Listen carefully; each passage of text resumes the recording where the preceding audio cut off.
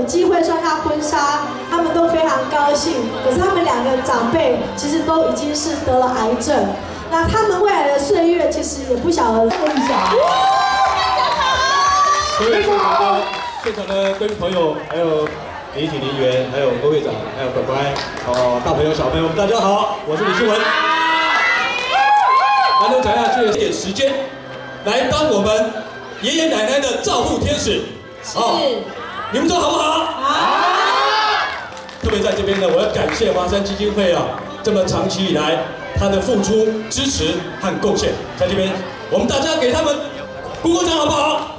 谢谢，谢谢华山基金会，谢谢谢现场的所有朋友们，谢谢大家的爱心和热心，谢谢你们，谢谢，谢谢谢谢我们遥远的连长李新文李大哥，谢谢，我们大哥快要可以去选。